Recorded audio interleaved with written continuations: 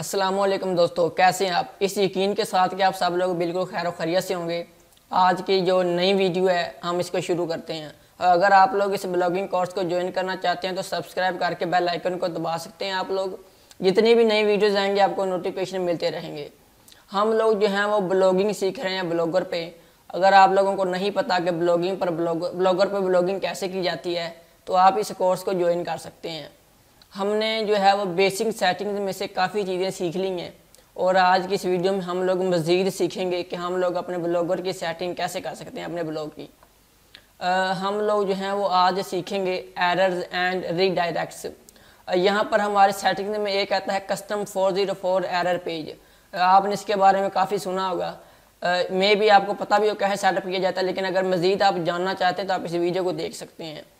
यहाँ पर हमारे हमारे पास जो हम लेटर्स यहाँ पर ऐड कर सकते हैं, यहाँ पर हमें जो है वो आलमोस्ट दस हज़ार दो सौ चालीस लेटर्स ऐड करने की परमिशन यहाँ पे दी गई है।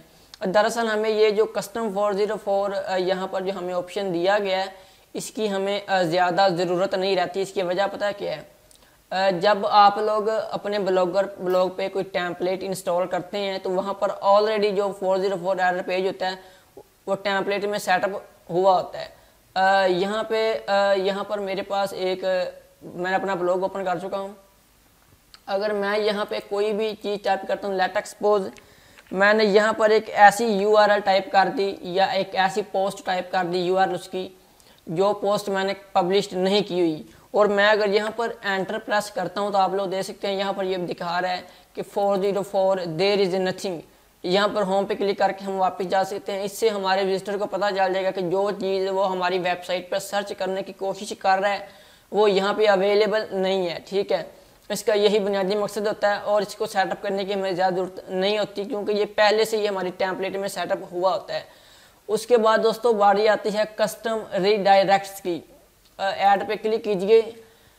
अगर आप लोग किसी यूआरएल को किसी दूसरी यूआरएल की तरफ़ रीडायरेक्ट करना चाहते हैं तो आप लोग तब इस फ़ंक्शन को यूज़ कर सकते हैं। लेट एक्सपोज आपकी कोई पोस्ट है, आप, वो अभी तक जो है वो आप समझ लें कि एम आपने अभी उस पर कोई काम नहीं किया। और आप चाहते हैं कि जब कोई बंदा उस पोस्ट पर गलती से अगर आ भी जाए तो वो रीडायरेक्ट होकर आपके होम पेज की तरफ़ चला जाए। यहाँ पर मैं आपको एक एग्ज़ाम्पल के साथ गाइड कर देता हूँ। लेट एक्सपोज मैंने यहाँ पर एक एग्ज़ाम्पल पोस्ट की हुई है।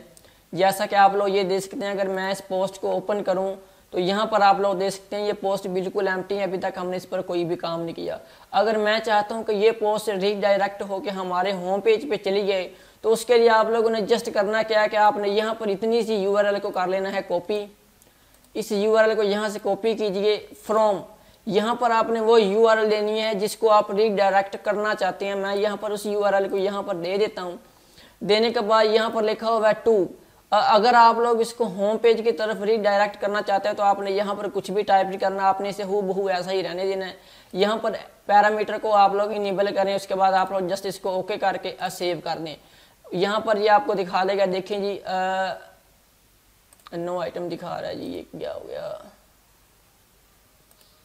यहाँ पर इसको दोबारा ऐड करके देख लेते हैं जी क्या मसला है। यहाँ पर चले, ऐसे करें, आप लोग स्लैश टाइप कर दें, ठीक है? उसके बाद ये पैरामीटर क्लिक करें ओके करें एंड देन सेव कर दें, ठीक है?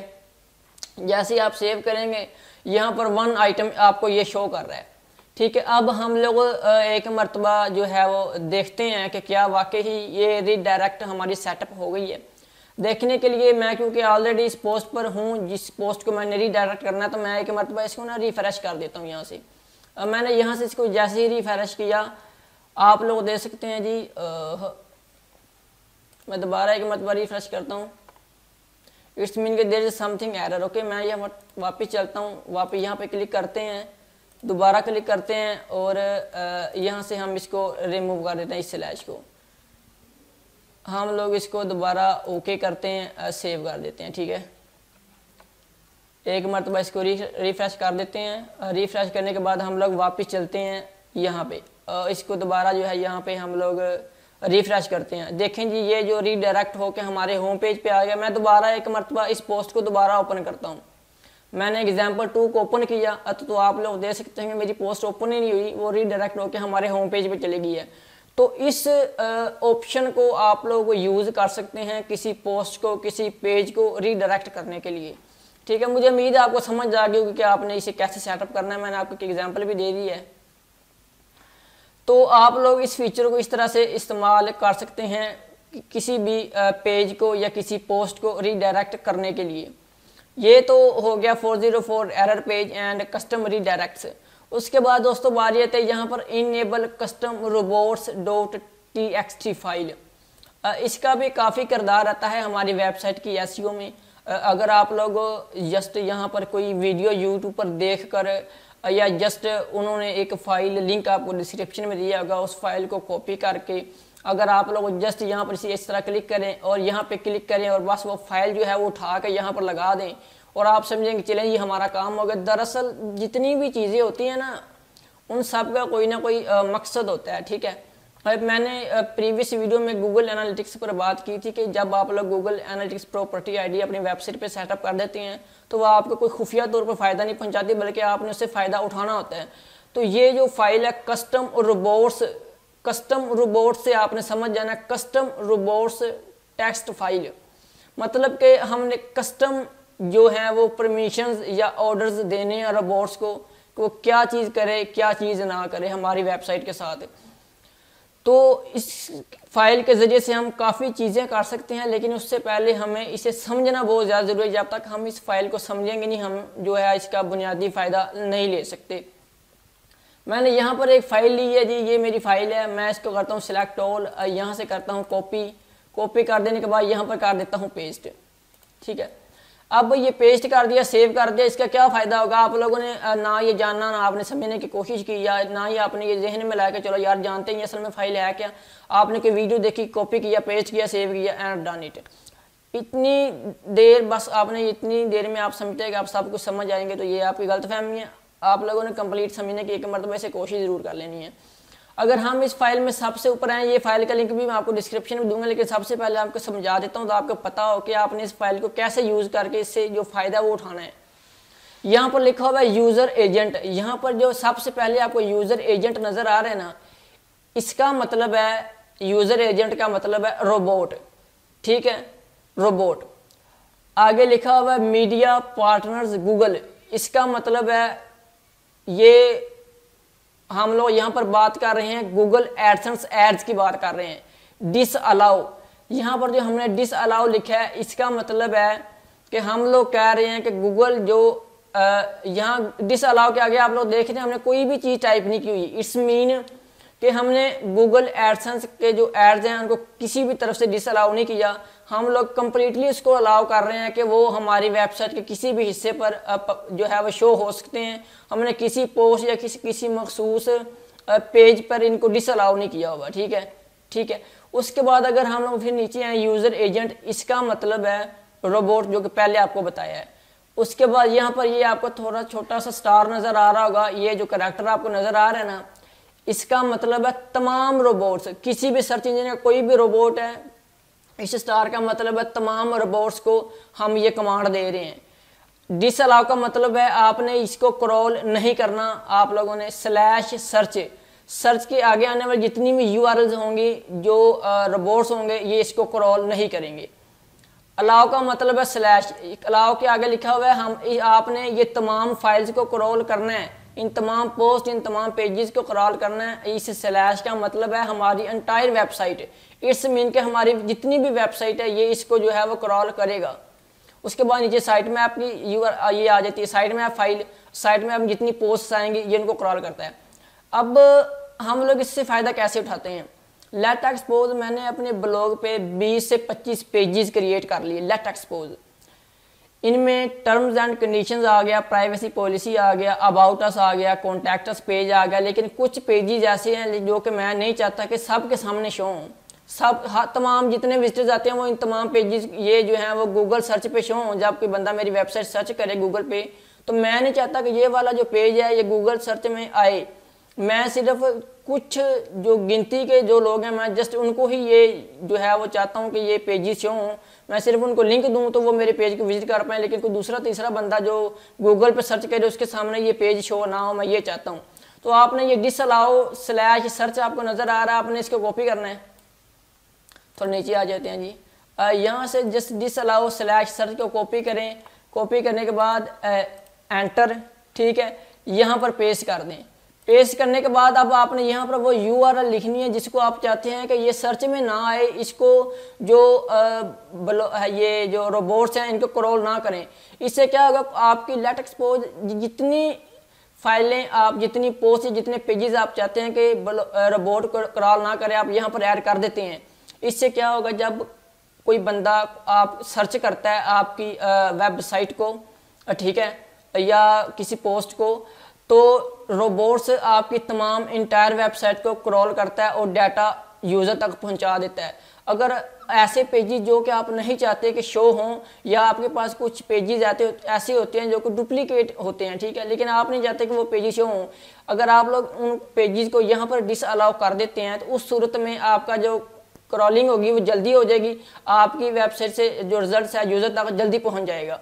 तो आप उन पेजेस के यू आर एल यहाँ पर ईजिली दे सकते हैं। आपने जो भी पोस्ट या जो भी पेज यहाँ पर डिस अलाउ करना चाहते हैं जस्ट आप लोगों ने यहाँ पर वो यू आर एल दे देनी। लेट सपोज़ ये पोस्ट मैं ये देखें जी यहाँ पर हम्म, जो मैंने पहले पोस्ट यार ओपन की थी ना आपने उसका जो आधा यू आर एल है मैं आपको यहाँ से देख लेके दिखा देता हूँ। इसको हम लोग जो है वो सेव कर देते हैं इस फ़ाइल को। आप लोगों ने इस चीज़ का ख्याल रखना है कि आपने यहाँ पर मैंने लिखा हुआ being instructor being instructor dot blogspot dot com यहाँ से बींग इंस्ट्रक्टर हटा के आपने अपनी जो वेबसाइट है, उसका यूआरएल दे देना है। हम लोग इसको यहाँ पे सेव कर देते हैं। सेव करने के बाद हम लोग वापस चलते हैं। यहाँ पर हमने एक आइटम ऐड की थी, हमने इस पर दोबारा क्लिक करता हूँ। इतनी यूआरएल सिर्फ़ इतनी सी यू आपने यहाँ से कॉपी करनी है, ठीक है? ये यू आर एल एग्ज़ाम्पल के तौर पे जो जिस पोस्ट को या जिस पेज को आप लोग नहीं शो करवाना चाहते, आपने सिर्फ़ उसकी यू आर एल जो है वो कॉपी करनी है। कॉपी करें, ठीक है? वापस आएँ। अपनी फ़ाइल पे। मैं दोबारा यहाँ पे क्लिक करता हूँ। आप लोगों ने जस्ट एंटर करके डिस अलाउ स्लैश सर्च पे अगर आप लोग ये वाले जो रिजल्ट्स हैं, अगर इनको हाइड करना चाहते हैं तो ये लिख दें। अगर आप किसी और पोस्ट को लगाना चाहते हैं तो आपने जस्ट ये वाला काम करना जैसे कि आप लोगों को मैं यहाँ पर बता भी रहा हूँ। ये देखें, ये जो पोस्ट है, यहाँ पर मैंने ये यू दे दिया, पीछे लिख दिया जी डिस अलाउ जब रोबोट्स क्रॉल करने आएँगे, मेरी वेबसाइट की पोस्ट को डाटा को ब्लॉग को, जैसा भी ठीक है तो वो ये वाली जो पोस्ट है, इसको क्रॉल में नहीं लेके आएँगे इसको इंडेक्स नहीं करेंगे। तो इस तरह से हम लोग जस्ट एक छोटी सी फ़ाइल से अपनी वेबसाइट को क्रॉलिंग में मदद फ्राहम कर सकते हैं। अगर हम लोग इस फ़ाइल को समझते नहीं हैं तो समझ लें कि इसका जो बुनियादी फ़ायदा, हम इससे महरूम रह जाते हैं। तो आपने कोशिश करनी है कि आप इस फ़ाइल को समझें और इसका जो सही तौर पे जो फ़ायदा उठाना चाहिए ना, वो उठाएँ। आप लोग, अगर आपके पास कोई भी पोस्ट है जो कोई डुप्लीकेट है, आप उसके यू आर एल यहाँ पे दें कि भाई इसको क्रॉल आपने नहीं करना। जो डुप्लीकेट पेज है, आपने इसको यहाँ पर वो यू आर एल देने कि भाई इस डुप्लीकेट ये डुप्लीकेट पेज है, इसको क्रॉल आप नहीं कर सकते।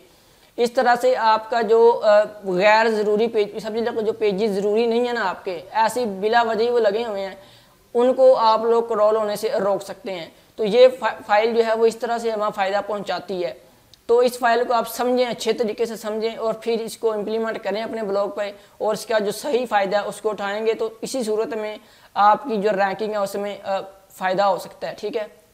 इससे आपकी रैंकिंग इंक्रीज होगी। जाहरी बात है, जब आप लोगों की वेबसाइट जल्दी क्रॉल होगी तो ये ऊपर शो होगी, ठीक है?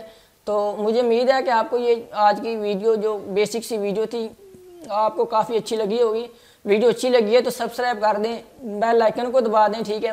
ताकि आपको न्यू वीडियोज़ के नोटिफिकेशन मिलते रहे।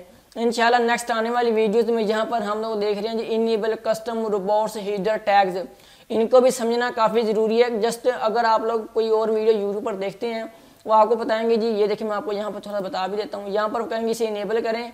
यहाँ पे क्लिक करें, ये इसे जो है वो कर दें, उसके बाद ये जो नोट डी पी इस पर क्लिक करें और सेव कर दें, जी सेटिंग हो गई। और यहाँ पर ये जो तमाम चीज़ें हमें यहाँ पे नज़र आ रही हैं, इन चीज़ों को जब तक हम समझेंगे नहीं, हम इसका बुनियादी फ़ायदा हासिल नहीं कर सकते। इन नेक्स्ट आने वाली वीडियोज़ में मैं आपको जो डिटेल के साथ ये जो enable custom reports header tags वाला सिस्टम है ना, ये कंप्लीट गाइड करूँगा। और मुझे उम्मीद आपको वीडियो अच्छी लगी होगी। So friend thanks a lot for watching this video और मजीद वीडियो देखने के लिए सब्सक्राइब करें बेल आइकन को दबा दें, ठीक है? जितनी वीडियो आएँगी, आपको नोटिफिकेशन मिल जाएँगे। सो दोस्तों, शुक्रिया, बहुत शुक्रिया।